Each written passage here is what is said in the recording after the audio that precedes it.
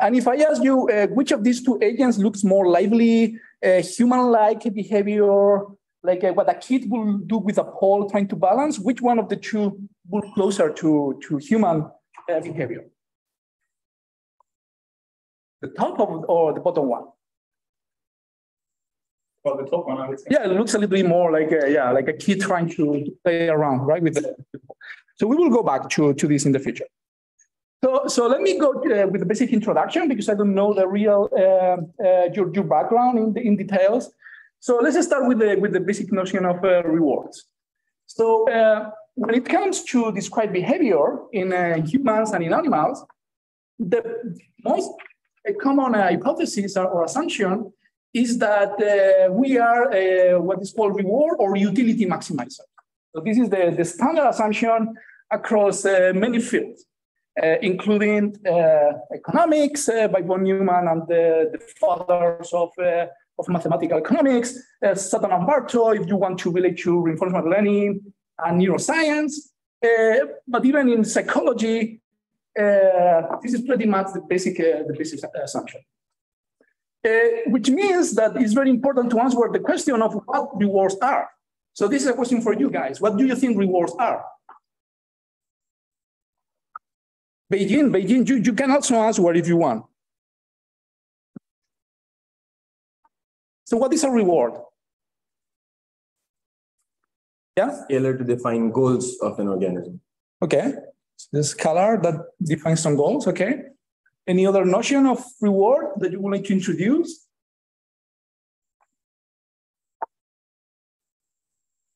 Yeah? Like whatever the organism gains from the outcome of the behavior. So it could be a sense of pleasure or food. Okay. Okay. Okay. Very good. Okay. So we have like a, you know, it's the uh, it, it look it looks a little bit multifaceted. So we have different uh, ways of uh, defining it. So this is uh, one standard way of uh, of uh, thinking of uh, rewards. So you have an agent that interacts with, uh, with the environment. The agent perceives the state of the world, uh, and based on that the state of the world, generates some action that uh, uh makes a change in the environment. So the, the state of the environment goes from ST to ST plus one, and the environment can respond with a reward at a later time, uh, delay time, are uh, T plus one. And this is also observed by, by the agent.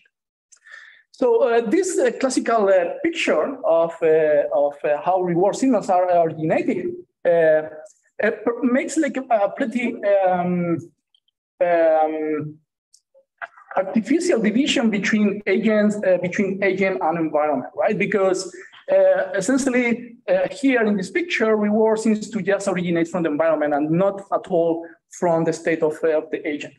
But we know that this is not the, uh, the, the, case. So, so uh, rewards can be external or internal. So uh, uh animals may sought to, to look for sugar, for instance, to get some, uh, some energy. And this is like a, like a proper material that is outside in the wall, So it's really outside the, the, the agent. But uh, decades of research in neuroscience has made clear that also there are internal signals that act pretty much like rewards, like dopamine. When you there is a release in dopamine, dopamine uh, in the, uh, by the substantia nigra, uh, it acts pretty much like a reinforcement, uh, like uh, like external reward. Uh, yeah, go ahead, please. So, so why should I think of this as a reward and not as some mechanism that will allow me to get an external reward later? Why should I think of that itself as a reward? It's unclear. It's unclear. So uh, it's unclear. Uh, behaviorally, uh, animals uh, seek uh, sugar, but also experimentally, uh, it's, it's, observed that animals seek dopamine release. I mean, this famous experiment where you have this rat that is pressing and, and, and, holding a, a key that releases dopamine inside. So the animal is keeping repeating again and again this, this, this behavior. So let's leave this like a, a possibility that actually rewards is a, like internal. Uh, there is a like internal component that is very important to it. But is there a definition of reward then, or is I'm going to go to a tentative uh, definition of reward. So right now I just open up like different uh, facets of uh, of reward. It can be also extrinsic or intrinsic. So extrinsic uh, kind of rewards will be uh, something that you will get when your father is telling you to pass an exam you will get a reward because you make your father happy uh, uh, it can be intrinsic if there is nothing uh, in the external world that really can explain in an easy uh, way your behavior. There is a nice review by, by, uh, by these two guys.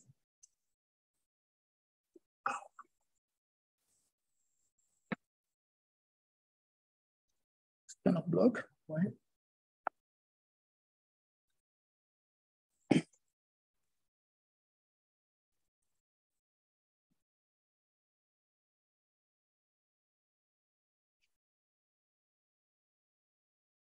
Okay, doesn't respond. I don't know what's going on.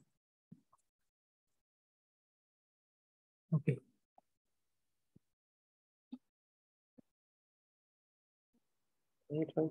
Yeah, it was, it was just uh. So this is a tentative uh, definition of uh, what rewards are. So let's consider uh, rewards as uh, policy independent action state uh, signals that are sought by an agent. So whatever signal that we can define can be dopamine, can be external signal, whatever signal that we can define could act as a reward if this signal is sought by the agent, right? whatever signal it is. So it's, and a critical component here is that this is independent. And sought means that the agent wants. Yeah, yeah, wants to maximize it, uh, and we can define now like a, a specific objective that uh, will fulfill that. Uh, this. Yeah. And what is meant by action state signal? Whatever uh, neural signal or word signal, uh, or whatever thing that you can measure, whatever action that you can define, and whatever state that you can define, that is sought by the by the agent. This is the most general definition of uh, what rewards is. Uh, as you can see here, uh, rewards can be external or internal. So the state can be external, can be internal. Uh, it can be extrinsic or intrinsic. So let's give uh, uh, one example. I think that the bottom part is a little bit uh, uh, off, but it's okay. So this is a vacuum uh, uh, cleaner robot. So, um, so here we have the rewards uh, signal. This is the rewards on a, quantity that depends on the state and the action. The state can be, for instance, the internal component, which is the battery energy. That's totally internal to to the to the so oh, this, uh, Yeah, so there's a question. Um, Yeah. Should all these four rewards be the same when entering the Bellman equation? If so, why should we categorize them? Yeah, yeah, well, that's, that's the point. So the point is that uh, in psychology, people have tried to uh, classify different type of rewards. Uh, and now what we're trying to do is to uh, put everything into a single uh, conceptual framework that is going to be uh, valid for all the cases. Okay. So battery, battery energy, this is the internal component, the internal state of the, of the agent. The location is like a physical uh, state of, of the agent in the room, for instance the dust that is being detected. So this is the combination between external and internal sensor because the, the, the, the agent has to be sensing uh, this uh, external component of the world. Uh, and the agent can uh, have, have a set of actions that can choose from uh, move right, left, forward, back, and can collect or not uh, whatever is being sensed uh, in front of it. Uh, so we, we cannot see the bottom part. But the point of this of this reward is that it's independent on the policy. And what is missing over there is the definition of, of the policy, which is the probability, is a function that tells you the probability of generating an action given that the agent is in a state uh, S, particular. So that defines the policy is a very important component, and I'm, I'm going to go back to this uh, quantity in the, in, in the future.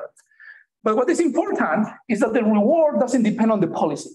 That means that if, uh, if the animal is, uh, if the agent is learning, the policy is changing because the animal is improving uh, the, maxi- the maximization of, uh, of task collection, but the reward itself is not changing.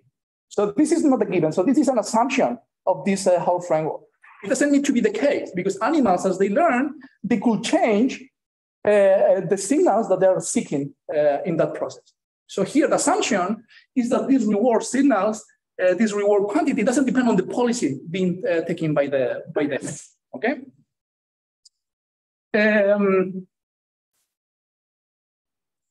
okay, so we go back to the to the standard hypothesis, animals seek this reward, uh, and they will do everything to maximize the amount of reward collected uh, in the future, from now to into the future.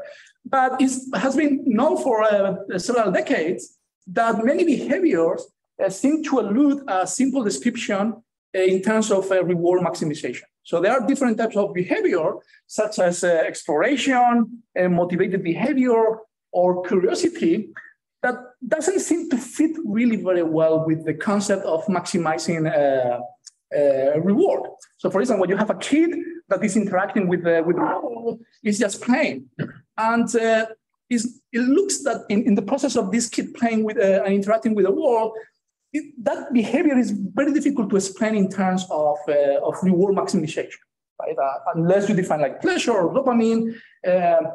But uh, at the first glance, it looks a little bit different. Uh, it, it's not very goal directed uh, a priori. Yeah. But those behaviors you can explain in terms of value maximization, not reward maximization. Right, right, right. So that's that's the that's the standard approach. So the standard approach is that uh, in practice, in reality, all these behaviors can be explained in terms of uh, of uh, trade-offs that you may have. So exploration doesn't come by itself, it comes with, uh, with exploitation. So this is the exploration exploitation dilemma.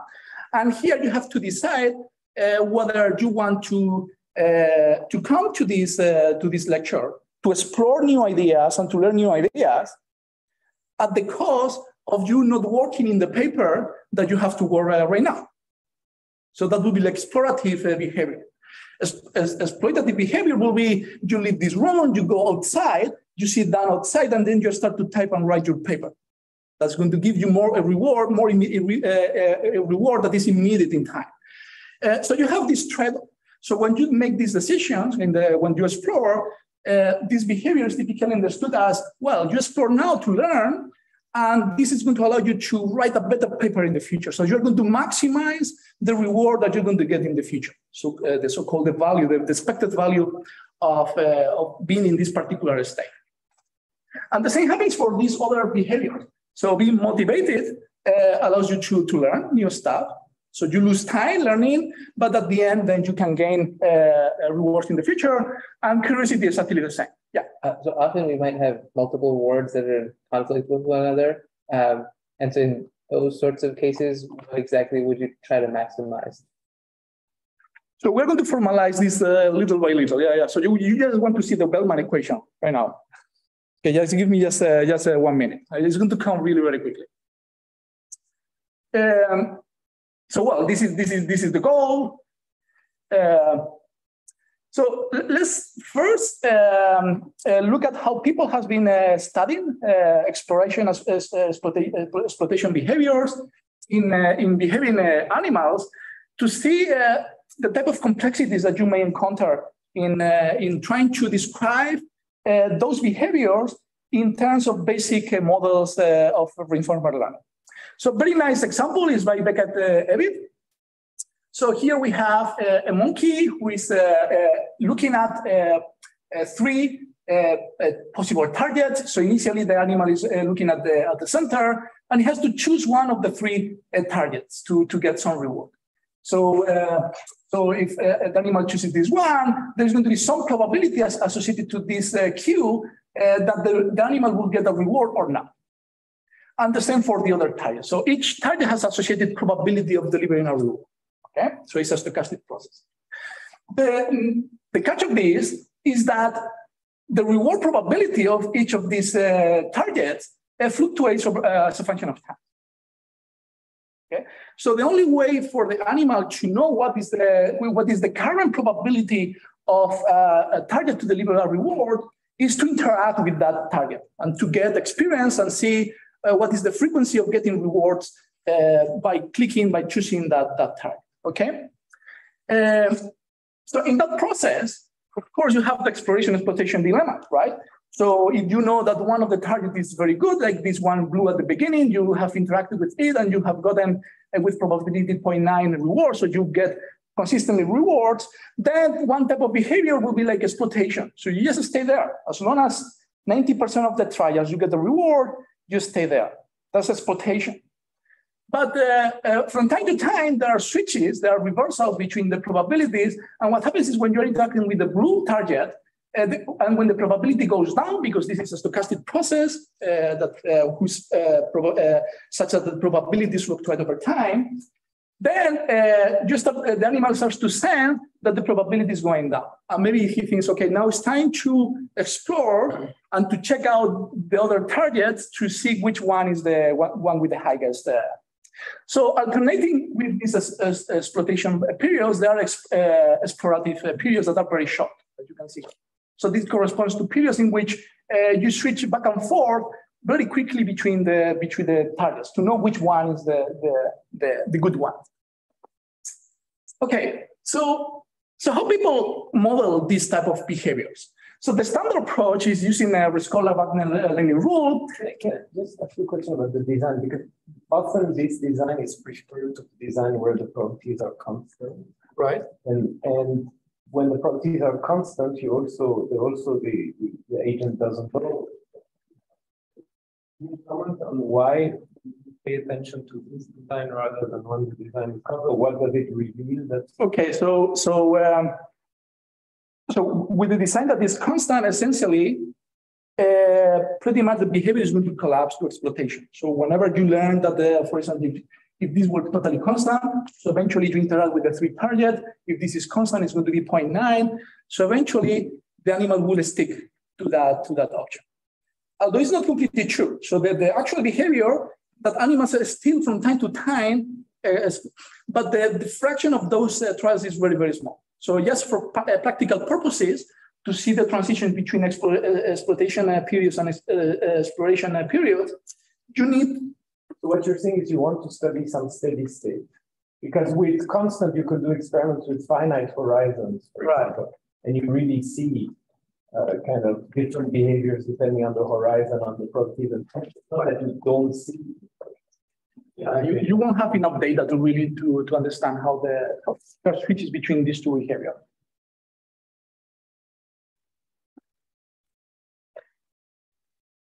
So this design is good because uh, then uh, you have to, the animal is forced to, uh, to explore from time to time. In the design that you, you define, the animal is, doesn't need to explore at all at some, at, after a while, although it's going to explore but uh, that's going to be very animal dependent. It's going to be really like uh, it's very unconstrained experimental setup. It's going to depend a lot on the internal state of the of the animal, what it's doing. To, it's curious that day it's going to switch a lot. If it's not, uh, so this is just to con- to constrain a little bit more the, the behavior of the, of the animal. So another No?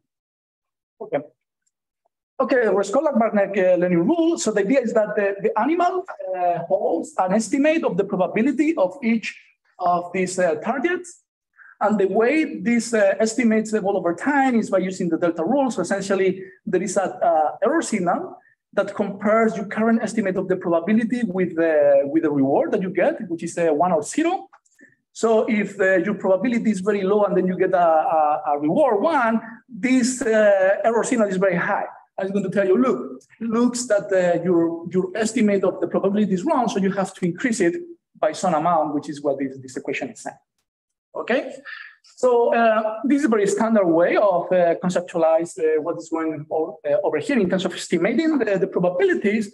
And now you have to have a model as to how the animals choose the one of the three targets. And there are different models that you can uh, you can use. The, the most basic uh, model is what's called epsilon greedy action selection rule.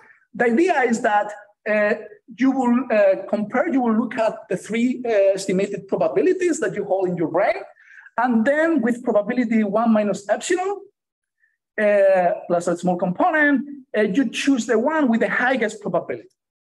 So with a very high probability, this epsilon is typically very small, like 0.01. So that means with very high probability, you choose the, the, the target with the highest uh, value.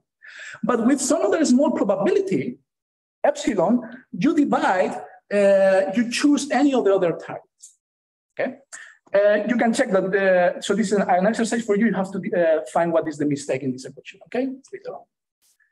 Um, there are different rules that uh, you can use. Instead of this uh, uh, epsilon greedy action selection rule, you can use a softmax action selection rule, in which you are going to, of course, uh, choose with the highest probability the, the option with the highest uh, probability, uh, pro estimated probability. But you are going to grade also the, the probability of choosing the other, the suboptimal targets according to their probability. This didn't happen in this, uh, in this case. So here, uh, any suboptimal uh, uh, target was chosen with the same probability. In this other case, uh, the target with the lowest estimated uh, probability is going to be the one chosen the least. Okay. And this uh, action selection rule has a lot of uh, uh, history. In psychology, it was introduced as a heuristic to explain stochasticity in the behavior of, of animals, even in the conditions that you were describing, even in situations where the behavior should be totally determined, still you need to introduce a little bit of noise to explain the behavior. There is no way to, to, uh, to work with deterministic models to describe behavior, even in uh, the conditions that you describe. So what is this n here? This n is the number of targets. So in this case, will be three. For this particular experiment, will be three. Uh, so this is what they, they, found. What they found is that the um, so this is the the uh, histogram of uh, trials, the number of trials that are in, in between switches of transition between one state to uh, um, uh, to another uh, another exploratory state. And uh, and what you can see is that it looks this distribution looks bimodal has like a peak here where there uh, uh, uh between uh, with where uh, with very within very few trials there are switches between targets. But then you have these very long periods that go up to 15 or 20 trials where the animal is sticky, has stuck in one particular object. Okay, so you can fit this uh, with two exponentials, and you can see that the model with two exponential is much better. And actually, there is a big difference in the in terms of log likelihood in describing the data. So, so really, this distribution is described by two exponential. There are two time scales, one short time scale and another one long time scale that you can immediately assign to uh, uh, exploration periods and exploitation periods. Okay, so like kind of bimodal uh, behavior. Okay, so all these uh, models uh, account for uh, this experimental data. So this is this is what the epsilon greedy does, and this is what the softmax does. Uh, so these are the, the uh, best fit uh, parameters for, for both models. And what you can see is that actually, so these are model results. So this is not the data. So you just generate the, the simulate the models and you generate uh, these, uh, these transitions. Uh, the, the, histogram of trials between switches. And you plot the histogram. And what you see is actually they're described by two exponentials, but the difference in log likelihood is very small. So the gain by, by the gain by describing this model uh, based on two exponentials as compared with one is very small. So that means that, yeah, it's two exponentials, but this tail is not very long this tail is not, is not very long. And actually, when you compare to the experimental data, so when you compare to the experimental data, only, uh, so the models, uh, uh, epsilon greedy and the softmax greedy, they cannot account for this very long, heavy tail that shows up in the, in the, in the behavior. Okay? So then they cannot, uh, you can see here, I mean, these behaviors are very complex. So you could, you would like to uh, describe them with with simple models, but there are there is always uh, specific conditions, uh, specific uh, uh, variables that are not really captured by the by the by the. So they introduced this hidden state model, where the idea is that actually there is an internal explorative state that is distinct from the explorative states of the animal. So the idea is that the animal holds uh, kind of like two type of behaviors, exploration and exploitation, that uh, and there are transitions between between these uh, between these uh, these states.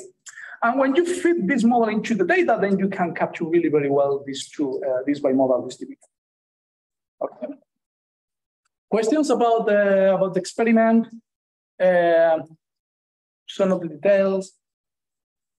Is there any cost to switching? But I guess with this big form of a cost of switching. Yes. Yeah, not in, the mo- in this model, but that's a, that's a good point. Yeah. Yeah.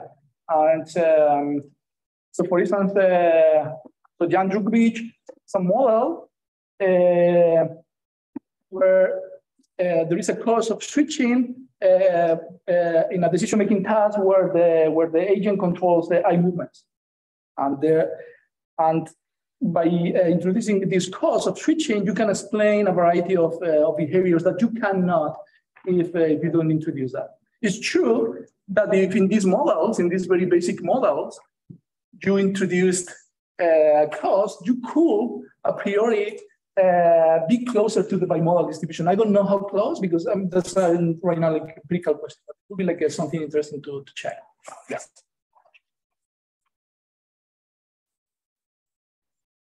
But not at, at the same time that in the uh, exploitation periods, the frequency of uh, switching is really very fast.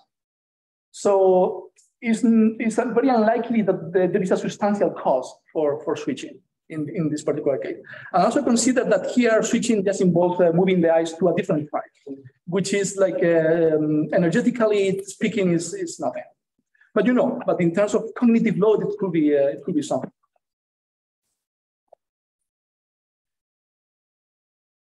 Okay, so in, in this previous experiment, uh, the uh, agent, the monkey, interacted with what is called uh, arms uh, uh, armed bandit uh, problem. So here, the agent chooses a target, gets reward, but the agent doesn't change the state of the world. Right, the, the probability, these probabilities are evolving over time independently. The agent doesn't change the state of the world.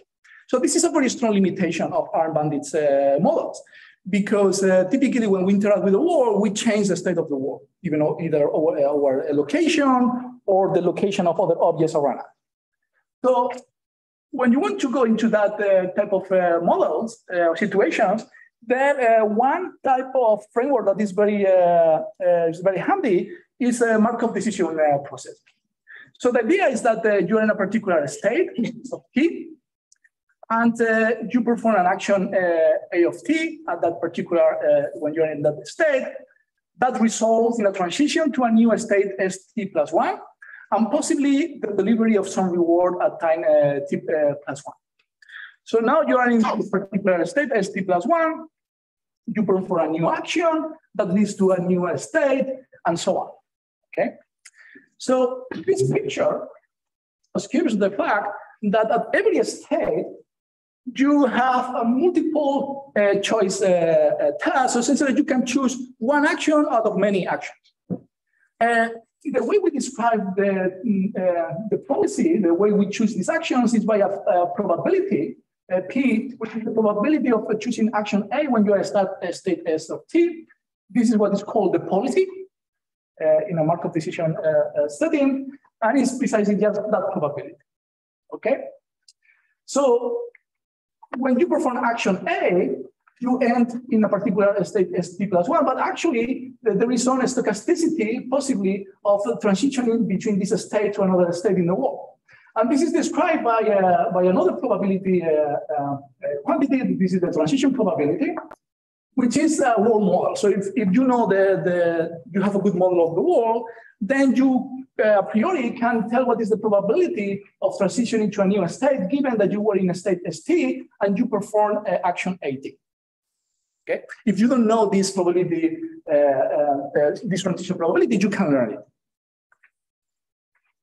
And, uh, and finally, this quantity, which is, is policy independent, as, as we described before, uh, is the reward signal that can be stochastic, but for simplicity, we're going to, we're going to take it deterministic. So it's on a scalar quantity that is totally given by the state that you are and the action that you made in uh, that particular time. Okay? And uh, this is the essential quantity that we're going to be talking uh, a lot in this uh, lecture, which is the value, uh, the state value function, which is, which is a very interesting object so this is, uh, I'm going to unpack it uh, uh, in, in the, by doing some math. Uh, so the idea is that for every state S, And following a particular any policy uh, pi, you can define how good is that state, uh, how good is to be uh, in that state. Uh, this is going to be defined as the expectation of the future discounted cumulative reward that you expect to find uh, when you start at the state S and you follow policy uh, pi. Okay? Uh, so this is the state value function under this policy, and it tells essentially is going to make a ranking of which states are good and what other states are bad. Okay, because if you are in a state with a very high value, that means that by following this policy, you're going to get in the future a lot of reward. If you are in a state with a very low uh, value, then in the future you're going to get very little reward. So that's not going to be a good state for you. Okay, and the idea is that you are going to be looking for a state with high uh, value. Okay, so now I'm going to switch to uh, to my tablet to do a little bit of math. Sorry, just a very question. Yeah, go ahead. All the stochasticity given by the the, world is in the RT plus one. Okay. Uh, all the stochasticity is included in the RT plus one. Yeah. Okay.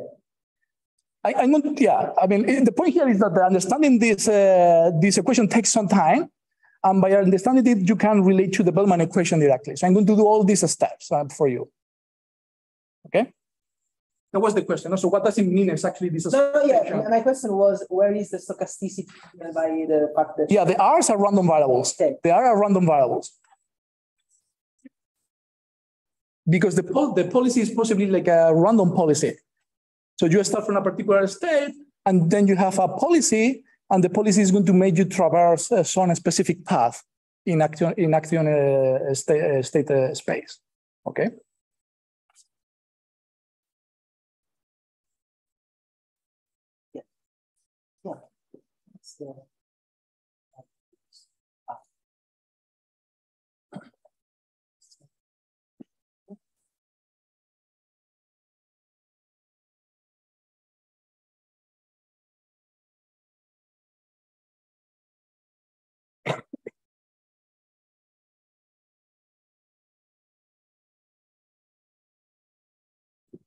Okay. Are you ready for some math? okay. So, uh, so the, the relevant object here is the is the state value function. So is this expectation that uh, we are going to, to unpack it. Okay.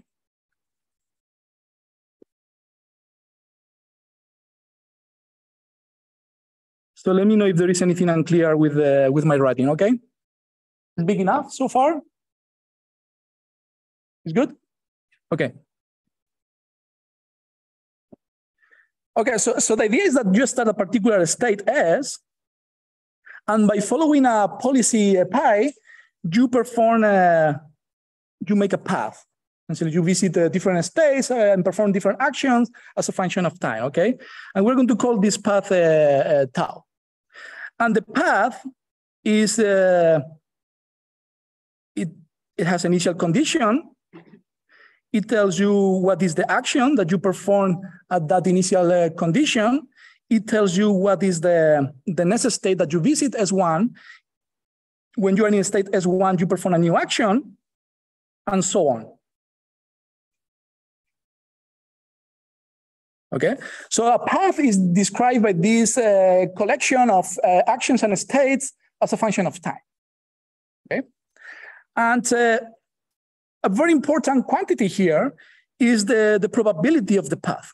This is essential because when we want to compute the expected value of this, uh, of this uh, sum of random variables, this expected value is going to be expectation over the paths, over all possible paths that you may have. So you need to know what is this uh, probability of, of the path. So given the, the Markov uh, uh, decision process approach assumption, Mar the Markov assumption, the, this probability that we can make it uh, to depend on the initial condition. So this is a path starting at a specific uh, initial condition. So this is the, the probability of, uh, of performing action A0, given uh, that you are in state A0. So here we are assuming that the agent is following a specific policy pi, right? So this pi is something that is fixed. So this is something, this is the policy that the agent is following uh, while interacting with this, uh, with this environment. So this uh, probability multiply by the, by the transition probability. Now you are in a state S1. In a state S1, you can perform a new action with probability pi uh, uh, A1, given that you are in a state S1. Then that leads a new transition to a state S2, and so on. So this probability is the product of many terms uh, that are totally dependent on the policy and on the transition probability of the wall, the state transition probability of the wall. There is nothing else that uh, comes here. Okay, so now we understand uh, what does it mean, this, uh, this expected value. So this expected value is a sum where all the paths that you can uh, that you can take starting at uh, S0. So this path essentially it's going to be a sum over all possible A0s, S1, A1s, SNs, ANs up to the future. So it's like it's a very complicated sum, multidimensional sum. Uh, of the probabilities of those uh, of each of those uh, paths, given that you are in, uh, in the state as uh, zero. And now the random variables become specific quantities that depend on the state and action that you're performing along the path.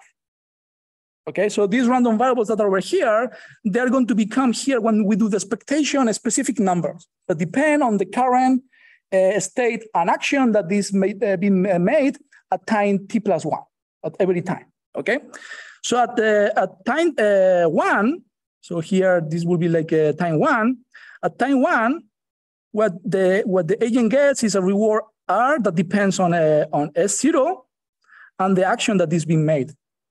S0 and A0. The next term in this sum is going to be a gamma. Uh, is, is going to be uh, weighted by this gamma that it didn't show up. Sorry, I forgot about defining gamma because it didn't show up at the bottom of the of the slide. So this is the discount factor, and it is typically a number below one, so that uh, future rewards are less important than rewards that are closer in time. Okay. So when you are in a state uh, in a state two, uh, time two, sorry, then you get the reward S1, uh, S1, uh, A1, and so on. And you go up to the future. Okay? So this expectation is uh, a priori this very complicated uh, sum, multidimensional sum. The cool thing about this sum is, can be, is that it can be made recursive in the following way. So we can split this sum by, uh, by taking the first part. So we can say, okay, so this is the sum over tau over all the paths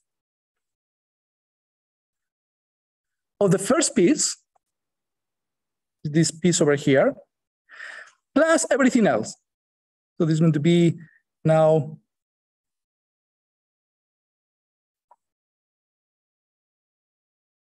everything else that we have over here.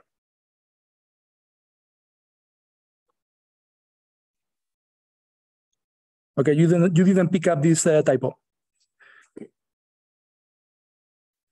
Okay, so you have uh, so the only thing that I did is to take out one gamma out, uh, and we have this sum over here. Sum over tau is a priori the same.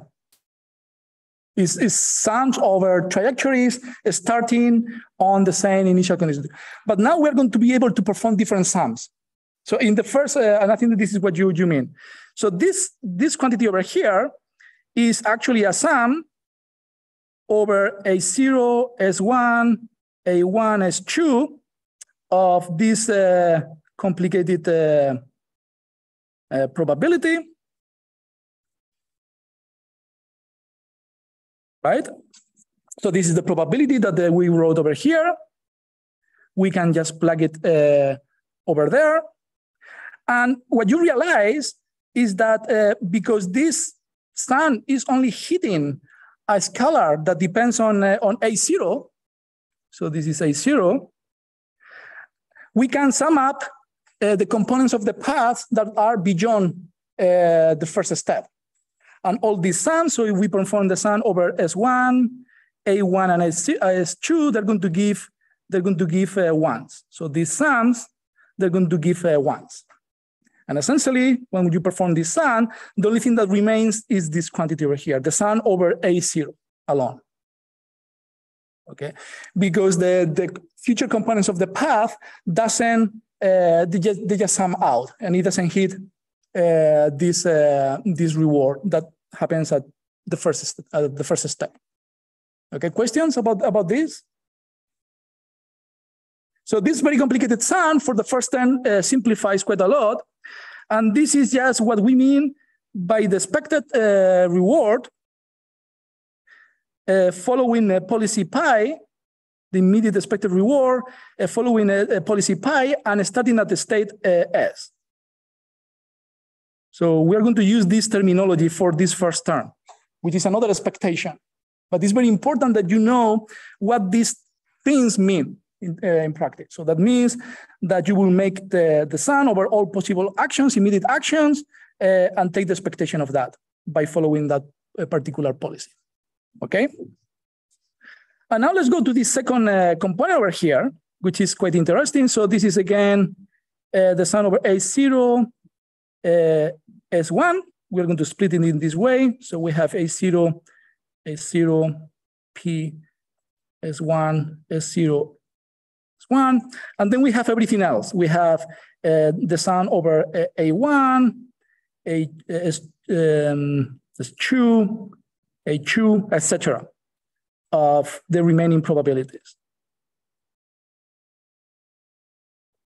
Okay, so this sum is, uh, is this uh, double sum that you, you have over here.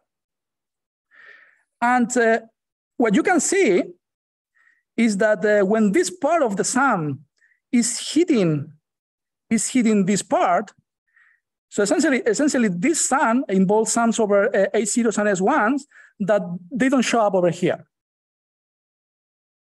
Okay, so, but the sums over A1, S2, A2, and so on, actually they're hitting this quantity. So you cannot just uh, sum, and, sum them up to one. So you have to sum them up weighted by this uh, by these rewards. Okay? And actually you can see that this sum, so this sum apply over here, is precisely the value function.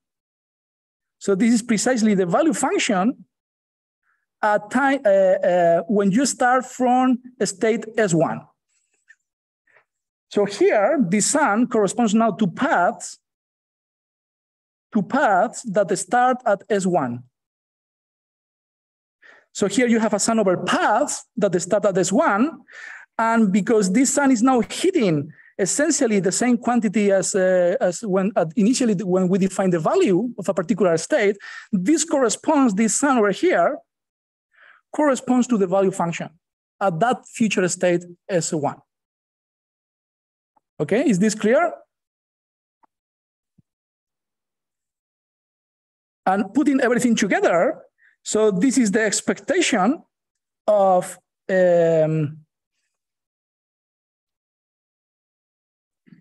over the future state of the next state S prime, given that you perform, uh, you follow a policy pi, and you uh, start uh, from state uh, S1, the expected value of the of the next step um, value function.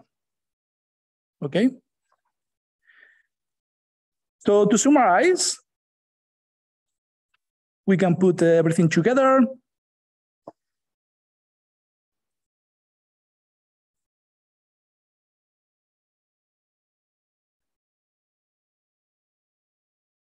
So this is a lot of notation, but it's important to specify the expectations of what and uh, what are the quantities that we are taking expectations uh, from. And this uh, equation is very famous, and it has a name. It's called the Bellman equation. So this is the so-called Bellman equation. And it's a recursive equation because it relates the value at a particular state at some time with the future states that you may encounter as you perform one transition forward. in time.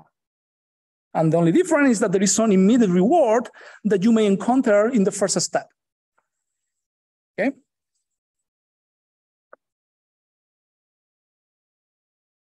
I think I, I will continue uh, 10 more minutes to finish up the math rather than taking the break now. I think it's okay because otherwise I will need to go back to the tablet and it's okay. Okay, so this is the, the Bellman equation. So what, what do we do with the Bellman equation? Uh, well, what we do with the Bellman equation is to try to solve it. Okay, so let's assume that we start from one state uh, S. We can perform a bunch of different actions. And we end being in a different state uh, S prime. So these are different states that we can uh, uh, we we will uh, end in if we take specific actions A in each of these uh, branches. Okay.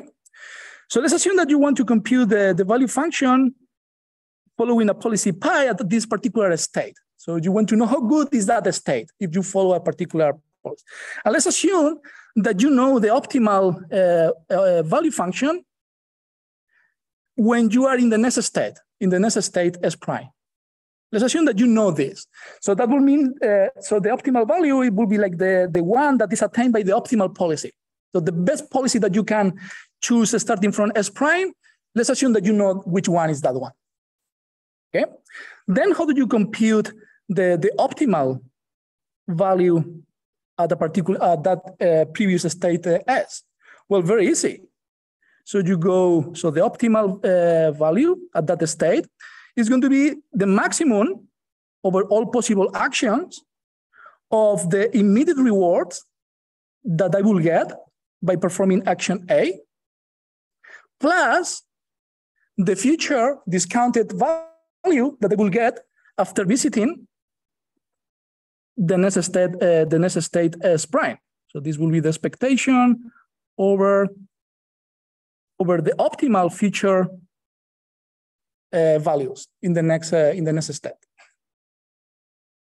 Okay, so this is a new equation that is even more famous than the previous one because this is called the optimality optimality Bellman equation. This is the optimality Bellman equation. And if you solve this equation, then you will know precisely what is the uh, what is the, the value of each of the states in the world.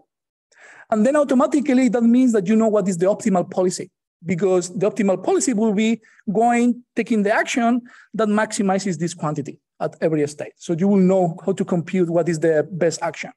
So essentially you will need, you will like to go to future states that are very good. The best, the, the, the better, the best, but the better.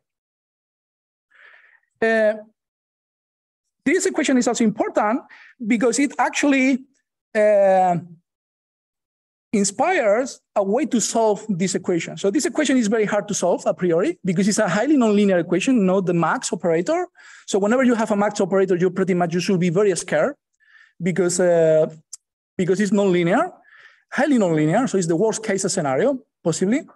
Uh, but this equation, this recursive equation, uh, leads to a very easy algorithm to solve the, uh, at least to get an approximation to the optimal value function. And the idea is, is going back to this, uh, to this schematic again.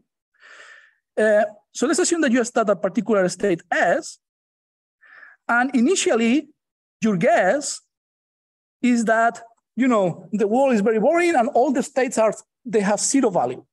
So my world is, so this is initial guess that may be wrong, but sometimes can be good saying, look, I think that the wall is, there is nothing there. It's like uh, whatever action, whatever policy I'm going to make, uh, the value is going to be always zero. Okay, this is a, it's a starting guess. And let's assume for simplicity that the rewards are positive. In your world, rewards are positive. Unbounded. So this equation has solutions whenever rewards are bounded. I mean, they're not infinite. I mean, it would, be, be crazy if you have a world with infinite rewards, right? So, so very natural uh, condition. So, so you start with this uh, with this uh, value. Yeah. Ah, it's not showing up. Sorry. Yeah. Thank you. Yeah. Now. Yeah. So thank you. Uh, okay, so you start with this state S, and you want to uh, find a new estimate of the value at the uh, the next iteration. So we would like to iterate uh, this value function uh, repeatedly up, up to until we get a very good approximation. So we start with some guess. This is very bad, of course, is uh, is zero. Uh, so how do we update this uh, uh, this value? So so if you're at the state S, let's assume that you can take different actions, and you end being in a different state as zero.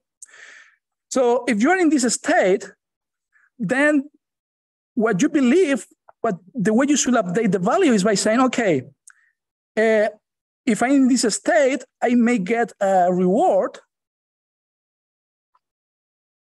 and I know what kind of reward I will get if uh, if I perform action A. So this is uh, this is assumed to be known by the by the agent uh, what the, this reward function is. And uh, you know, given my uh, my current belief about the value of the world, I know I believe that uh, when I go to a state A zero, I will get uh, a reward zero. Okay, so so essentially here, essentially what you're using is the, the expected value of the previous estimates of the your previous guess of the of the value, which is zero. So your first guess, so your initial guess is that is zero. Your uh, next guess is that uh, the reward, the value is the immediate reward. That's a better guess, right? The, the immediate reward is like a one guess. You don't you don't look at beyond the first step. So, but this is the guess. So now you can iterate this algorithm. So you can say, uh, now I'm going in, in the next step. And again, I'm going to estimate my value function by taking the max over, over all the actions.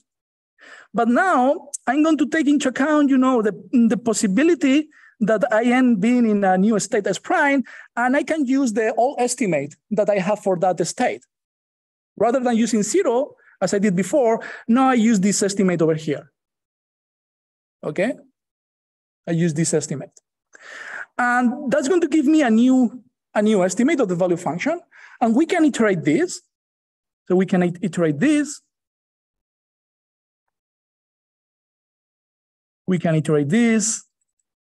And this is another famous uh, equation.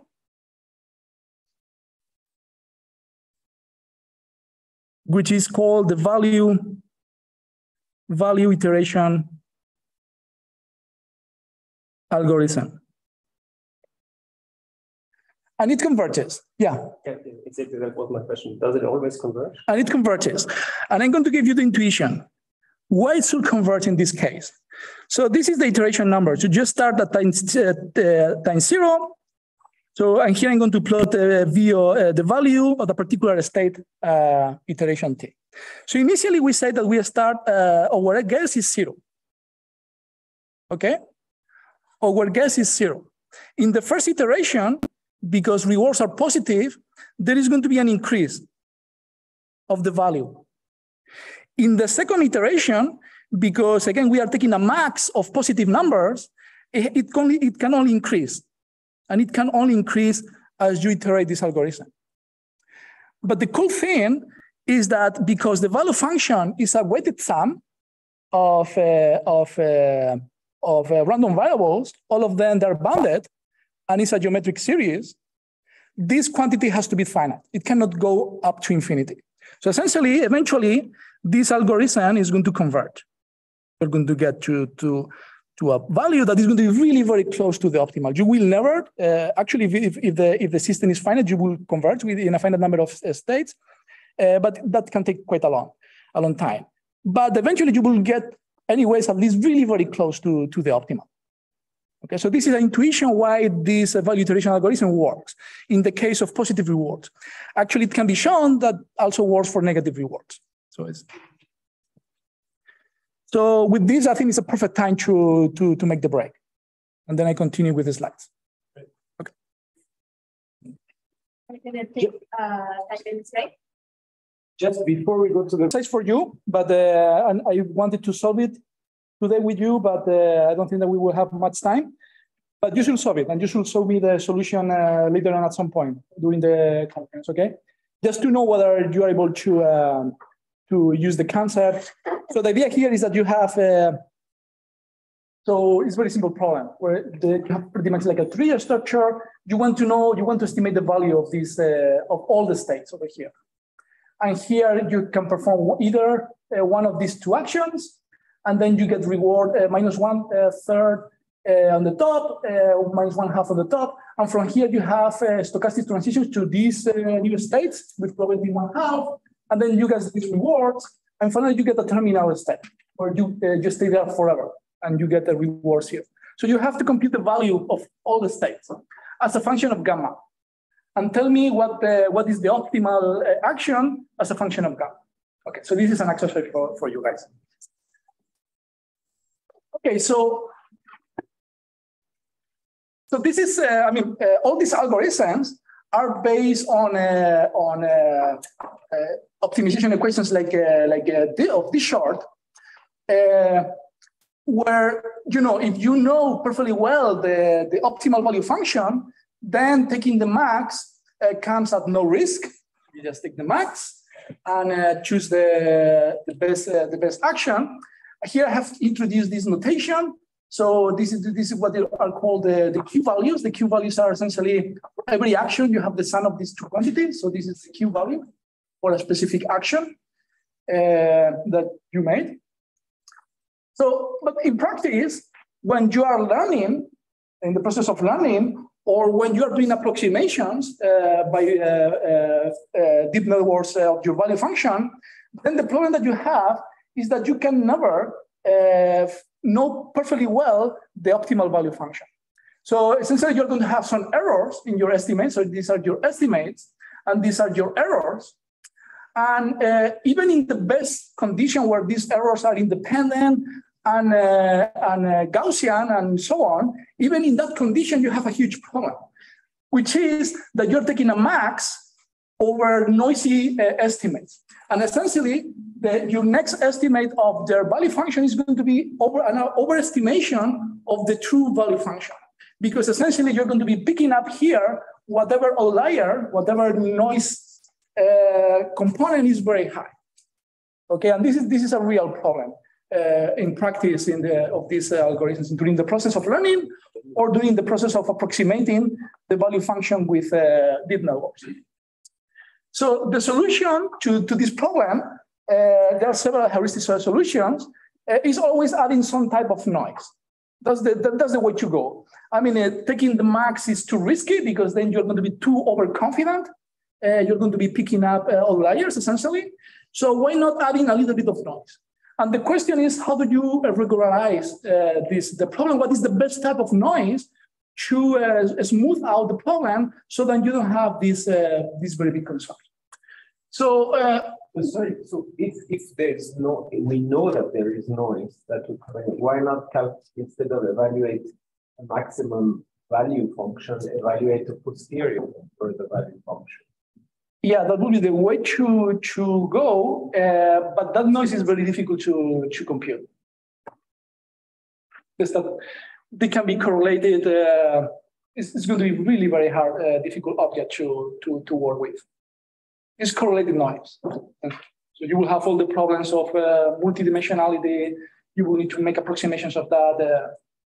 so people, I mean, here there is one expert on, on this, and maybe he he can say something about on this but uh, people have been dealing this problem with uh, some heuristics, which is adding some noise, and then seeing how these uh, things uh, compare to the to the approach without the uh, with.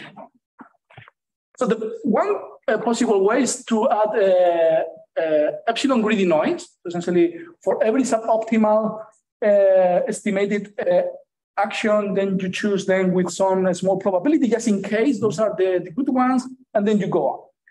And if you do this, I mean, this is guaranteed to convert, so there is, there is no, no, no problem. But the question is whether this is the, the most uh, relevant type of noise. Uh, so people have been using a different uh, framework, which is added, adding a, a, component to the reward, to the immediate reward, that uh, acts as a regularization to, to, to the problem. So So here, what you have is that the, in, in addition to the immediate reward that you get in one step, you add this component, which is uh, minus alpha of the logarithm of the policy. Okay, so this is not a reward in the sense of, uh, of policy independent rewards, as we talked uh, uh, before, right? But you can think of, of this as, as now like a, new intrinsic reward, total reward that the agent is feeling, and it has interesting uh, features. The first feature, of, of course, is that the, the, the, the, the goals are still, are still here. So then the agent is, seek- is trying to, to maximize this reward, but balancing out with uh, being too deterministic. So if your policy is too deterministic, then uh, uh, uh, um, actions that they have very low probability, they are going to give you a, like a huge, uh, like a huge um, uh, reward, essentially. Okay, so you want to, um, so you want to have uh, to, to, to have many actions with very little probability. And that gives you like an intrinsic motivation. So you, you want to have as much uh, stochasticity as possible in this system. So to see this uh, better, you can take the expectation over A of uh, the minus logarithm, and this is the, the entropy. So essentially you have a, a, a regularizer, which is the entropy. So, so you want to maximize reward, but at the same time, you want to maximize the, the entropy of the actions that you perform at every step. Okay, so this is a way to introduce uh, noise into, into your problem. Um, we don't see this one. And this one over here, uh, over here. So this is this is just to say that this amounts to defining a new objective, a new value function that contains the, the initial rewards, the plus uh, these terms that not only speak about the stochasticity of your policy at the immediate step, but also in the future. So essentially, you also would like to have uh, uh, policies that are going to be stochastic in the future, and that's going to be important for you. And then you will trade off immediate reward or immediate stochasticity with future stochasticity. So in the same way that you trade off immediate rewards with future rewards. So you have all these elements in this uh, in this uh, frame, and it's called soft RL or entropy regularized RL because uh, uh, you will see because of the of the shape of the of the optimal policies that you that you get there. But this soft in, in, because it's a regularization.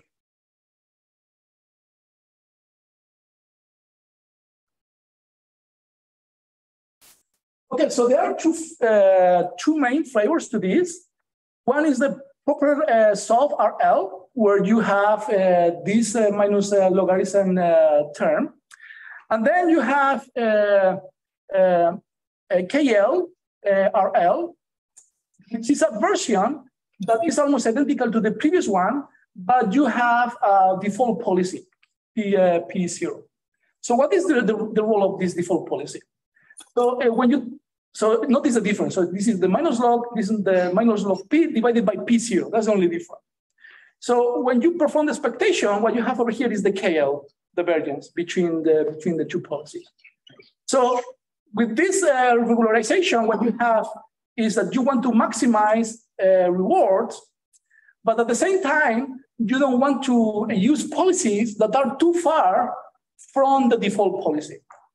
So you have a default policy, like easy policy that you can implement in your robot or something like that.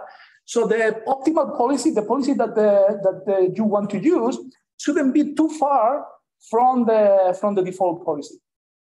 So for instance, if, uh, if you look at it here, if your default policy says that you cannot take action A at a particular state S, so the probability of that action is zero, then you shouldn't ever take in your, in your actual policy that action because the cost is going to be infinite because you are departing too much from the default policy that forbids uh, that action. Okay, you see this?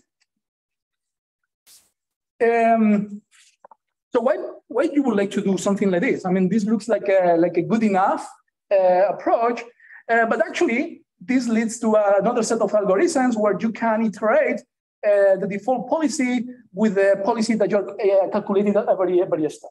And this is guaranteed to, to converge as well and has some sort of interesting uh, uh, properties. But when it comes to, uh, to describe uh, natural behavior, it's a very interesting idea, which is championed by Alfonso Renard, and Pauli's work, where he thinks that the, the default policy corresponds to habitual behavior. So habits that you have that are mm, kind of built in into your brain and you perform uh, on a daily basis. And learning is acting against those habits, those habits, those uh, default policies. And because those default policies are kind of uh, built into your system, it's very difficult to act against uh, those. And this is uh, um, uh, conceptualized in terms of the KL. So you don't want to depart too much to your habits to solve a problem. Okay? If you if you don't need to. And that will be better for, for the task. Okay, uh, um, questions so far? Are you also learning the default policy? Policy static. Mm, well, there are different versions. So in the classical Todorov approach, yeah, is there is a default policy, but as, as I said, you can uh, you can take the default policy as the previous uh, the previously learned uh, policy. So essentially, you iterate the policy in there, and it essentially uh, this is a way to not to depart too much from the previous policy that you have run. Now, there are many versions of, uh, of this. Uh, so I'm afraid that I'm going to do a little bit more of more math, unless you have questions. Yeah. So either way. Uh, so the default policy, if you in the last one, the second version, if you take that as random action, would that be equivalent to the first one? First version? Almost, almost identical, but not quite because because if you have uh, like a uniform uh, default policy, right? A uniform default policy, uh, it will be identical to the above if at, on every state you have the same number of actions. But if you have different states with different number of actions, then that plays a role. And actually, that uh, will penalize uh, states with many actions, which is not very intuitive why you should do that uh, in practice. Thank you. It's a very good question. Thank you. Just. Oh, yeah. Um, so could you explain again when the our first sort of uh, first sort of version of soft RL why you're adding this entropy term to it? Because it seems like that's increasing the the value. You're not.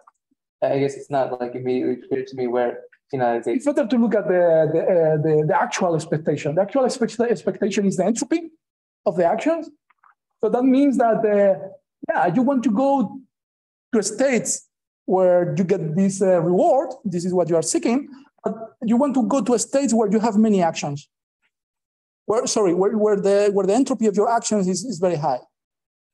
And then you have to trade off these two things. So is going to be controlled by this regularization parameter alpha. So if alpha is zero, then we go back to, to hard uh, RL. If alpha is non-zero or it's positive, you have a soft RL. And there is a trade-off now. Uh, eventually, in these uh, frameworks where you iterate the, the, the policy, uh, this alpha goes to, goes to zero, can be made true to go to zero. So that you will convert to a solution to the original problem with a specific reward function. But the, when you want to describe natural behavior, it's not even clear why you would like to, to neglect this term. Because this term may play a very important role for exploration, for uh, learning, for generating variability that we see that is essential ingredient to explain behavior. So I would like to take this opportunity to think about this time as, as opportunity to uh, to model new ways of uh, behavior, uh, natural behavior. So that's sort of like an exploration term. Sorry? So it's sort of like an exploration term where like it's exploration is exploration term. Yeah, it's exploration term. Yeah, yeah, yeah. It has many interpretations, exploration term, regularization term, depending on the field, you see it in a, with different eyes, so, so to speak, right? Um, so I would like to take this like with new eyes, like a, like a, with a new perspective of, uh, of, uh, of how to describe animal behavior, okay? Okay, thank you. There were more questions? I think that you, you should skip it, so I move with the students first. Unless you tell me that I should have stop or something like that. Uh, um, so qualitatively, is there like a a difference between the best policy under soft RL and soft max, or are they kind of similar? In what The best policy, uh, they are different. The best policies are different in, in the two cases. Or, but is there like qualitatively like a, a way to see like like a like a, a qualitative difference, or is it, or just a quantitative difference in the outcome policy? It's a qualitatively, uh, qualitative design. So. I- I So there's will- another questions in, in the chat room. Ah, Uh, from. Beijing, from Beijing. Can we understand the cost as the energy we need to transform from one state to the other? Uh, there is no notion of energy so far. Um, well, actually, yes. So, so you can embed that energy into the into. Ah, you don't see this. Sorry. You um, you can embed the, that cost in this reward function. So whatever trans. Actually, you can generalize this reward function to make it depend on S prime as well. I didn't do it just to simplify the math, but you, you can make this reward function to depend on S, A, and S prime with no change in the math, so to speak. And then you have, you can incorporate over there the cost of state S to a state S prime, given that you perform action A with all flexibility. And I think that there are, but I didn't respond to your question first, sorry, just to, if I remember well, you- so they are qualitatively different. So hold on, in, in the next lecture, I will talk more about that, okay? Is it the case that this framework, including the entropy as a regularizer, requires that the actions be defined in the Markov decision process in a, a sensible way? Like if you added a whole bunch of idle actions to certain states, don't really have any effect. Yeah, yeah, that, that's a, that's a good question. Like, to handle that gracefully, just Yeah, idle actions, but this one would change. Uh, so you mean like, uh, so this is the question, how do we define actions? Uh, I'm just asking whether there's an important conceptual difference between the entropic approach and the classical approach in that we do have to think about defining actions in a sensible way, whereas a classical approach, define actions in a silly way and include a bunch of silly actions that don't do anything. The algorithms we're talking about, or what you were talking about earlier, would handle that gracefully, You just converge on a policy that would. I think that you will have the same problems in the two frameworks. I mean, like uh, you can define un, unnecessary actions in the hard RL, or you, uh, it's the, the same kind of problems. Uh, so he, here, uh, you, if you introduce the degeneracy of the action, so you can say, okay, I define actions as being, uh, yeah, like uh, uh, entities that they, they do exactly the same on the state. So you can you can multiply the number of actions with not changing the observed behavior if you want. Right? If you code the degeneracy into the system. Yeah, yeah, I mean, yeah. don't, you would be. I think that you're talking about that, right? Sorry? You're talking about that, the degeneracy, right? I guess I, one way of talking about it, I guess, yeah. Okay, okay. Okay. There were more questions, or maybe not? Yeah, I'm a bit confused about the, the motivation. So the motivation here is uh, to be able to better explain the behavior.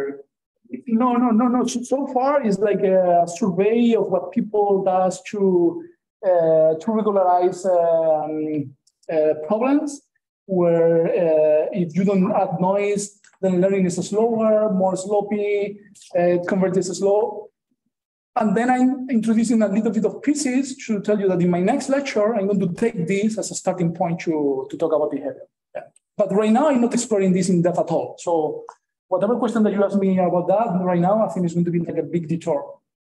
Uh, unless you have a specific question, you know. No, You, started by saying that there was a problem with the noise and the estimation of the value, but now we, we're defining a different objective function. So like you're talking about the, the different uh, steady state which you converge. So are we talking about the learning process? Are we talking about the steady state? Are we talking about, so, know, Yeah, so um, so for instance, I mean, like what people will do is to take this, so this helps learning, but eventually this alpha goes to zero.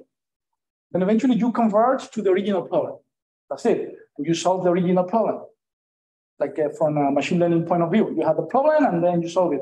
And you introduce these terms as a way to speed up learning and to avoid traps in the, in the learning. That's one thing. And the same happened with this one. You can do the same by uh, changing the default policy iteratively. So this is, you're you're talking about an an intelligent way of incorporating exploration. into the process. Right, right. Yeah, that- that's one way to look at it. Yeah. So I have two questions. Don't worry about time because we can Okay. uh, eat a bit on the discussion. So, so um, the, the two questions, the first is a bit of a technicality, which is if A is continuous. Yeah. Uh, then the first cost doesn't make sense. Yeah, yeah. Because it's not invariant on the repairable position. Over there is a, there is an issue. Yeah. But no, the second cost. on the second one is fine. It's fine. Okay, so that second question is, I guess these costs are important when you don't want the, the policy to go to a delta function, become very peaked. Okay, now one would guess that for a large class of problems, the optimal solution is are these singular um, uh, uh, deterministic policies. Yeah. Now, can you say something about for what class of problem the, the, the optimal solution is not deterministic? And if for many problems the solution is deterministic, why don't we just start with I, which is not stochastic, policy which is deterministic, look for the best deterministic policy. Yeah, I'm not fully aware of the. uh, I cannot give you a complete uh, answer to your question. Uh, But uh, under at least this setup, uh, in Markov decision processes that are unichain, so essentially that you, that are close to, to transitions and you don't, you don't have like a separated, uh, in those cases, the, the solution uh, is, is unique and is deterministic, except for uh, breaking ties. That's the only thing. So I'm not aware, but maybe I'm wrong. Maybe you know. Yeah. So in MDP setting, in the reinforcement learning, that when your transition kernel and reward is fixed, then the optimal policy is deterministic. Yeah, exactly. But if you want a policy that, that will perform better when the transition kernel can be, you know, changed a little bit, it's robust to noise, then the deterministic policy and the optimal policy might be stochastic, depending upon the noise, kind of noise you have. So there are no deterministic policies that are robust to small changes in the transition matrix, you're saying. Actually, it- it depends on noise. So there's kind of noise uh, for which uh, optimal policy is deterministic, and there's, there's a kind of noise for which it's not. I see. As rectangular and as as technical. Okay. So then a very element, so very elementary, I mean, it's going the basics, but if if we know to begin with that the optimal policy will be deterministic, why do we write the problem in terms of stochastic policy? because it, it because it's a speed up learning. So uh, at least in our hands, so it has robustness to generalize better, and because you explore in the process of learning more space, you are less prone to get uh, trapped in a local minima, and then you explore better and you learn faster. But then shouldn't our objective function not be reward, but generalization and reward? You see, because yeah, because you're saying, okay, I want to maximize reward, but now I'll do something else because some other property is better. But then shouldn't I solve a bigger problem which includes generalization? Yeah, that would be like the ideal world scenario. Yeah, but that's very hard. That's- yeah, but that would be the way to. Um, yeah. Okay. I just want to comment that uh, in my talk, I will talk about the classes of problems which non-deterministic uh, policy find it. So Raba, what's your questions? Can you say it again? We, we cannot quite follow on our side. Um, I was, uh, where's the mic? Yeah, I was, I was, um, just asking Ruben to comment on when should the policy be uh, thought of as deterministic versus stochastic, in which cases one is optimal or the other, and how it relates to the objective.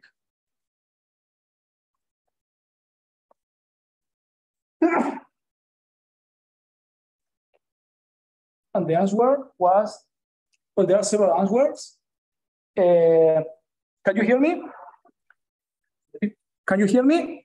Yes. Okay, so the answer is that in, in, a, in, a, in a large um, set of uh, problems, the Markov decision processes like this, uh, that are unichain, then the optimal policy is deterministic, except for breaking ties.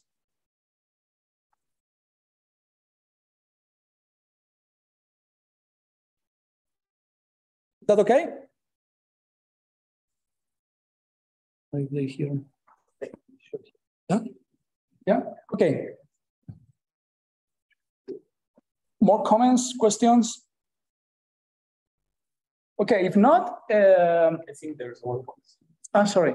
But just to make it a little bit less abstract for me, so how does the agent assign value to the policy? Because the reward is just something coming from the environment. So it's not entirely clear for me how um, in this equation. So the reward is just comes and how is how is the value assigned to the policy?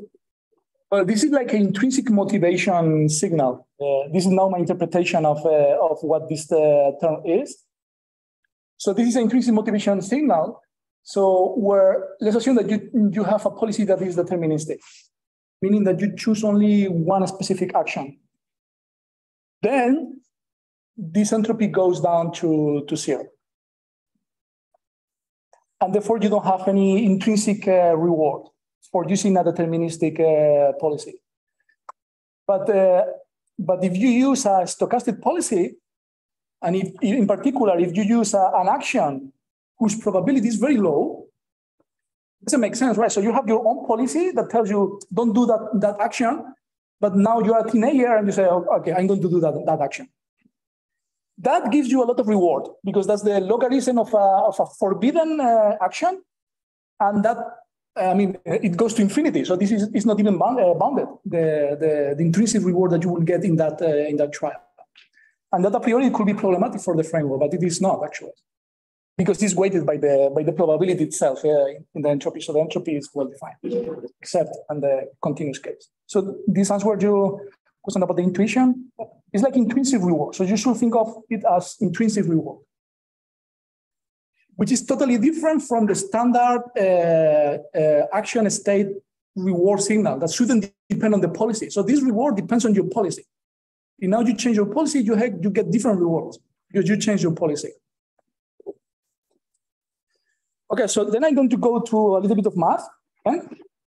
uh, because I want to give you a trick about uh, how to solve uh, this Bellman equation. So how do you solve this Bellman equation? How do you find the optimal policy and how do you find out the optimal state value function? I mean, unless you have that, uh, we cannot do much. Uh, yes, we are just talking about it.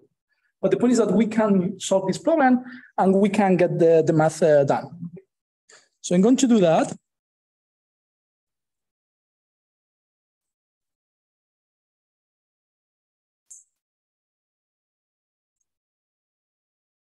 It will be a little bit shorter than before.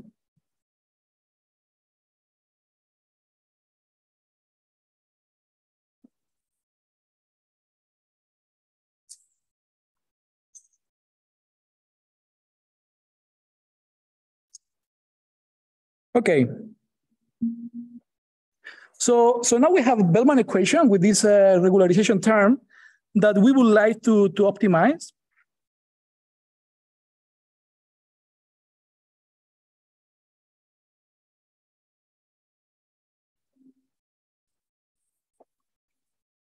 Okay, let's write it in this way.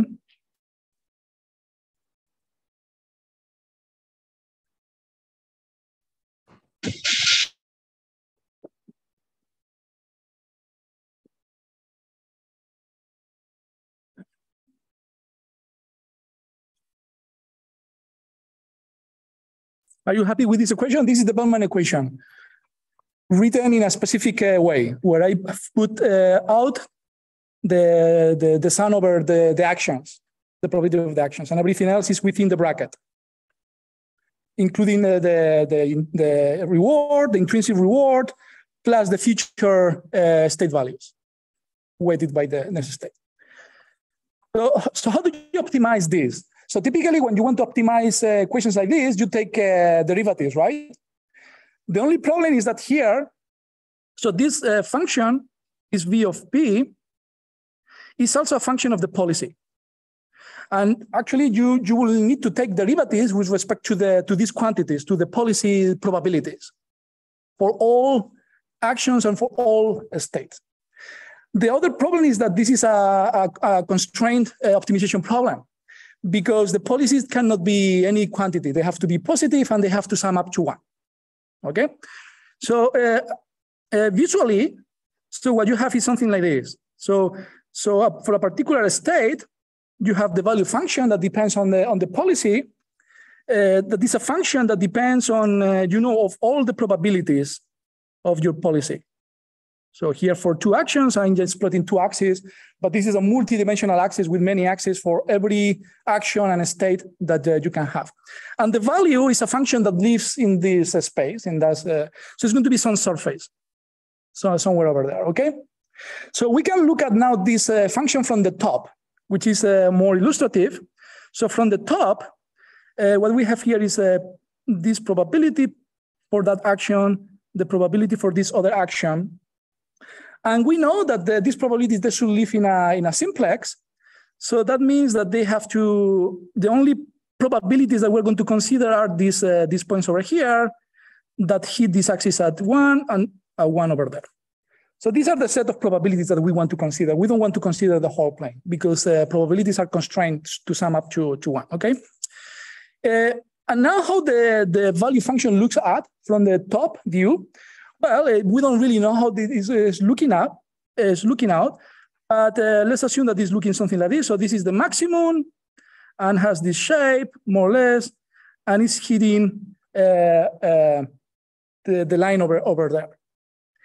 So what you can see is that at the, at the optimum, so the, at the position of P, the probabilities for which we're going to reach the optimum value of the policy uh, what happens is that the gradient, the gradient of the value function is, uh, is independent of the action. So if I take the gradient of the value with respect to, to uh, this probability, this is some quantity that only depends on the state. Because this uh, gradient, this line has to be perpendicular to, to the line uh, of uh, minus one slope. So has to have a unit slope, the gradient. Right? Just by geometry, has to, has to be that. Uh, so this is critical. But do you, do you see this point? Because it's kind of a, it's, it's the only trick, but it's important that, that you see it. Yeah. I have no idea what the. Okay, so let me uh, repeat this. So you are fine that uh, we need to, uh, uh, that the value function is on top of this plane, and it depends on these uh, pi's. But we can only consider pi's probabilities that lie in the simplex.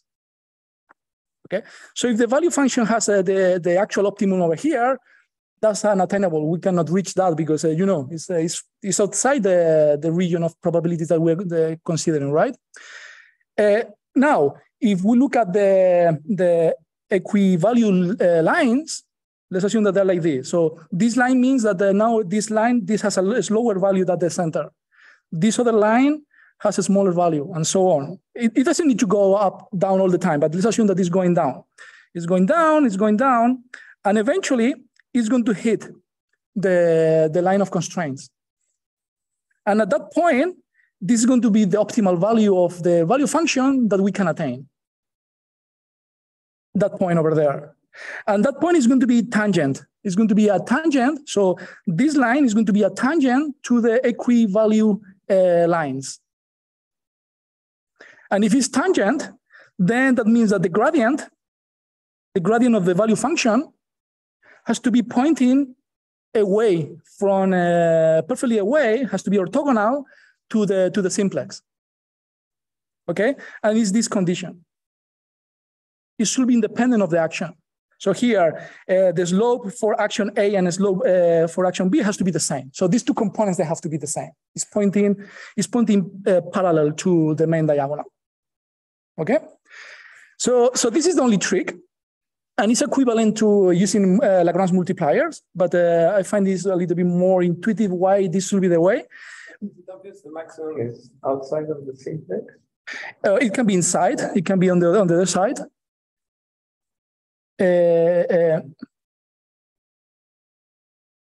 yeah, because if not, then you will have a component on the simplex and then you can move a little bit in that direction, you know? It has to be, it has to be uh, orthogonal to the simplex. Or the maximum is on the simplex. That can also be the, the case. Yeah. Exactly. So that's for the case where the maximum is outside Yeah. the simplex. Yeah. But this is, yeah, if it's inside, then it's inside, and then uh, you will have exactly the same. Yeah. Because these these guys are going to be zero. In that case, uh, the gradient will be zero. Yeah. So it holds for all the cases.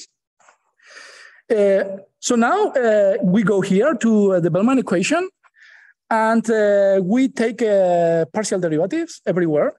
So here on, on the first one, we get alpha uh, lambda uh, equal uh, s. Then we take a derivative with respect to, so we're taking derivative, to be super clear, with respect to p i s, as, okay? First one, we get the, this, this component over there. Then we hit this pi over here in the sum, so the sum disappears, and we get all the terms that show up uh, inside the bracket. Ahead, I don't know if there is some questions. Uh... Okay. Okay, and then uh, we take the derivative of the log. That gives us uh, minus alpha, because the derivative of the log is 1 over pi. That will cancel out, uh, cancel out with the pi that is over here. So that gives us 1 minus alpha multiplied by 1, if you want. And then you have to take derivatives of uh, the value function that is in here, that is uh, on the future states. This is a little bit nasty, it looks nasty. So we have to take derivatives over there. But the cool thing is that by using the same argument, we know that this derivative shouldn't depend on the actions. By using exactly the same as the argument, actually depends on S and S prime, but it shouldn't depend on the, on the actions. And if it doesn't depend on the actions, um, I'm missing, sorry, I'm missing here, I'm missing here the sum over A's that they don't go away now because I'm, I'm making now the partial derivative, derivative inside the, the sum, okay? So it's inside the sum. I was missing that. So, so this doesn't depend on the actions. Then I can sum over, actions and over, over, uh, over states. I'm summing over actions. So this whole thing doesn't depend on actions. It only depends on S because I'm summing up over S prime, sorry, over here. Yeah. Questions about uh, any of the steps? So we are pretty much done because um, actually what I wanted to solve is the problem with the regularizer, but it doesn't change anything at all. I'm just plugging it right now. And uh, now we solve. We solve for pi. We solve for pi, and we know that this is proportional to pi zero, exponential of uh, alpha minus one, rewards, plus future expected values.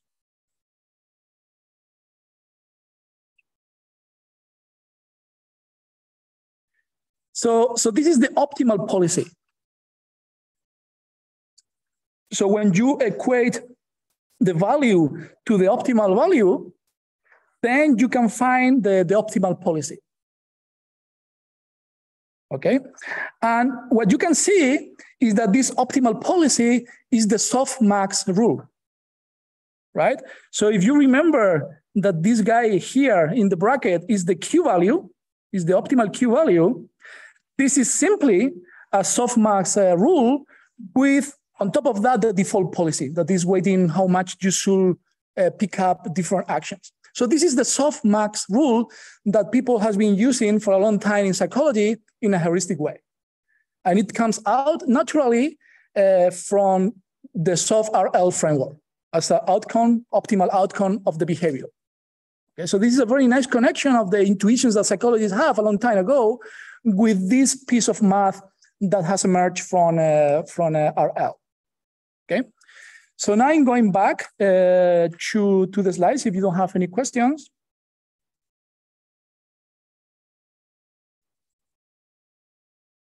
So how much time do I have? Um, so on the schedule, we have like, we have five minutes. Yeah. But, uh, but I mean, I think like how much, how much time? I can go uh, like 15 minutes or 20 minutes.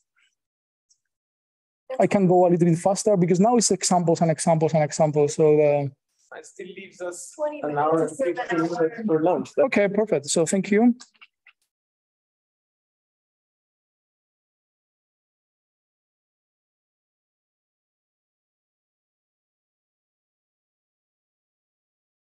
How do you share? As, as long as it's okay for the Beijing side. Is it okay for you guys in Beijing if we go on for twenty minutes? I guess it's okay. They don't say anything. What's the question? Rana, what's your suggestion? Is it okay if we go on for twenty minutes? 加长 It was okay? Yeah. Okay. Yeah, I think uh, I, I will do a compromise. How about 10 minutes? Yeah. Okay, perfect. Perfect. yeah, totally perfect. Fair enough. So this is a we- summary. We are, yeah. hungry. No, you are, yeah, you have to go for dinner. Okay. Uh, this is the optimal policy. You can insert this into the Bellman equation, and then you get a self-consistent equation for the optimal uh, state value that can be uh, recurrently uh, solved. Okay, so um,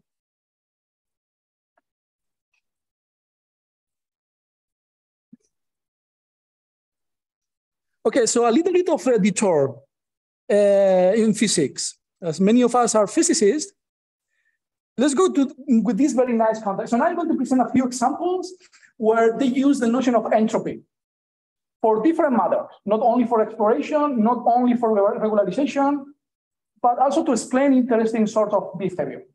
Okay, so this is a very beautiful paper that I recommend uh, by uh, Wissner-Gross, and the idea is the following: the idea is that uh, is that uh, you are a particular state in the world, and uh, in this particular state, you can perform many possible paths, many possible trajectories.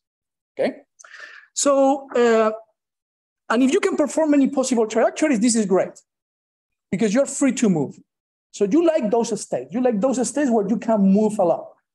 But what happens when you are in a state like this one, where there is a boundary on the right side? So essentially, you can have paths that uh, pretty much everywhere, but they cannot enter this region. They cannot enter this region because of the environment uh, makes you impossible to go to that place, or because of your dynamics, your body dynamics makes impossible you to go to that direction. Okay. Uh, then they define uh, what they call like uh, like entropic force.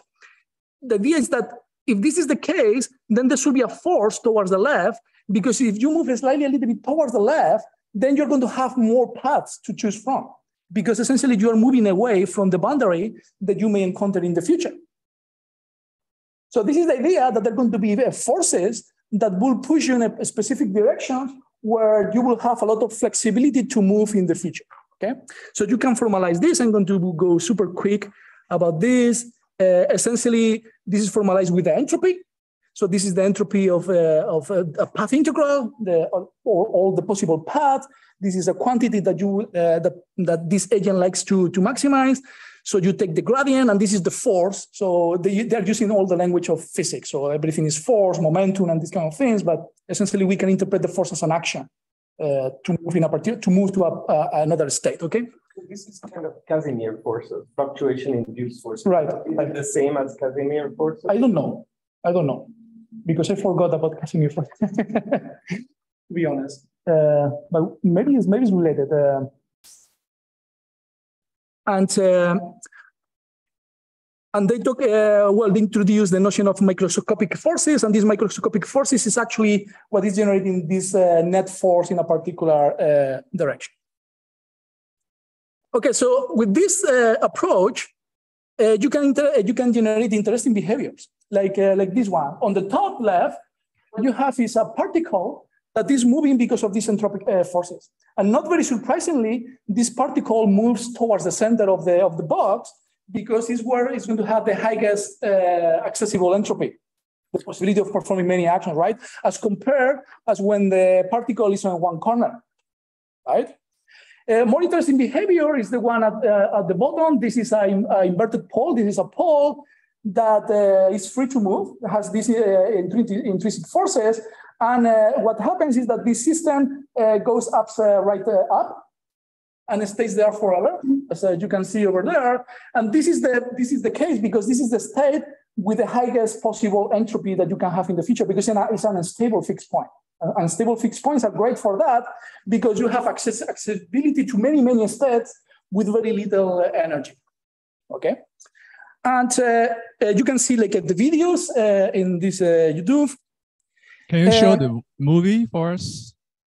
I think it would be more. No, you, you gave me 10 minutes, so I cannot show the video. Sorry, the video is there. You, you can check it out. I won't show it. Uh, final state, one problem of this framework is that the final states, they have very little variability. So once the particle goes to the center of, of the pole is up, uh, right, uh, upright, stays there. So that, that doesn't look very realistic. Uh, it has more problems uh, about the stability. I won't go there. But the, the main problem is that it's not, uh, it cannot be formalized a, with a Bellman form, uh, formalism. So the idea here is that uh, this force, this action, that this entropic force that is uh, made at particular time, doesn't know about the future entropic forces that can happen in the future. And the formalism doesn't have that. So there is no Bellman equation for this formalism. And therefore, the, the formalism is a little bit, uh, it's very uh, fragile. It really depends on the horizon that you use, that is totally arbitrary, and so on. Uh, another uh, framework, uh, empowerment, which is also using the idea of entropy as something important to drive uh, behavior. So this is beautiful thesis report by Jung, but the main guy here is Polani, has been pushing this quite a lot with collaborators, many collaborators. So the idea is that uh, you would like to be in a state where you are empowered, where you have uh, the maximum empowerment. What does it mean empowerment here? Empowerment uh, means, uh, so just to give you, so you're in an initial state, an initial location. You have uh, future states that you can reach. And to reach those states, you perform sequence of actions. Okay, so there are two uh, random variables here, the final state, the sequence of actions. The empowerment is uh, maximum when the mutual information between the final states and your actions is maximized. So essentially you are empowered of your situation. You know that you, you do specific actions, you will reach to there. And you would like to be in situations where you are empowered. So this is the definition of empowerment, and it's a kind of like interesting way of thinking about uh, behavior. Like uh, you would like to be in, uh, in locations where you can do a lot of stuff, but you are in full control of that stuff. Okay. Uh, well, you can, uh, uh, I, I, won't go over this. Uh, so how do you move? Uh, what are the actions here? So the actions are, so let's assume that you are in a particular state where you have uh, some empowerment.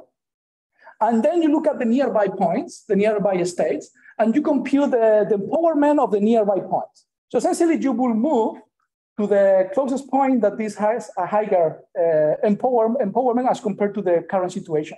If there is no such a point, then you stay there because it's the, the position with the highest empowerment. Uh, so that's the policy that uh, you can use. And uh, they use in a very nice set of uh, examples. And again, an example that is pretty much like, uh, is, this is called the Acrobot. It's like a two, a pole with two, two segments. And you can play this algorithm and as you may expect, as in the previous case, the most empowered position is the one where you have the pole uh, upright, with the two segments upright. Why? Because this is, this is again the most the empowered situation, right? Because this is the, the position where if you change a little bit, you're going to reach many, many other states. but you are in full control because it's a deterministic system. Right? So this is the, is the even though it looks like a little bit weird because it's super unstable, but this is the most uh, power situ situation. What is the problem? The problem again is that it generates very little behavior. So it generates, uh, it reaches to a specific state and then it stays there.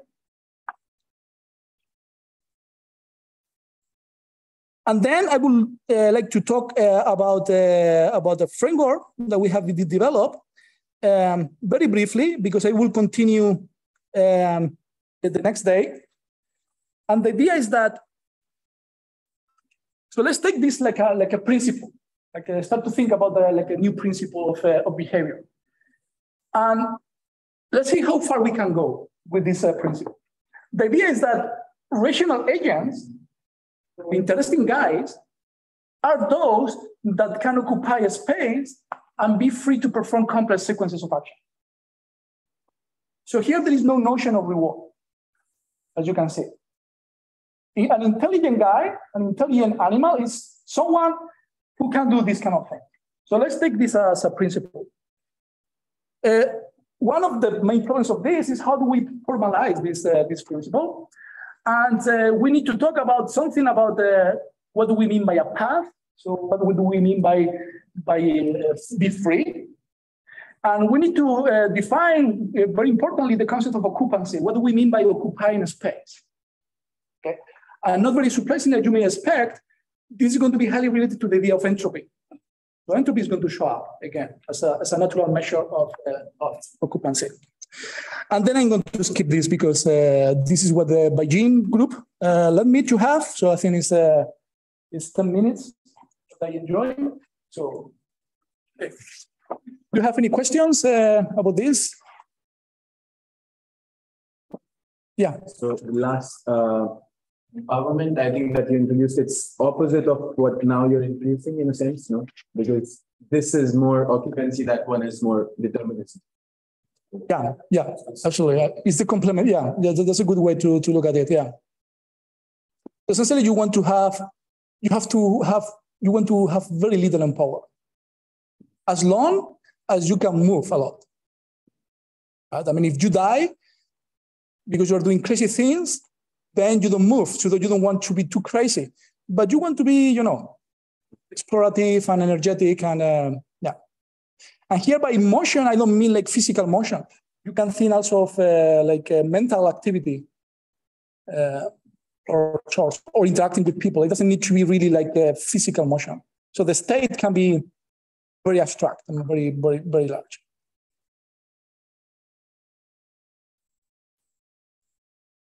Was enough math? Okay. Great. Thank you Thank so much. you.